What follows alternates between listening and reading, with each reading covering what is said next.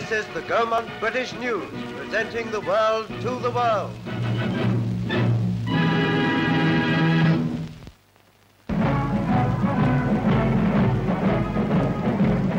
A regimental band led the march when Home Guards, nurses and civil defence forces paraded at Wanstead and Woodford.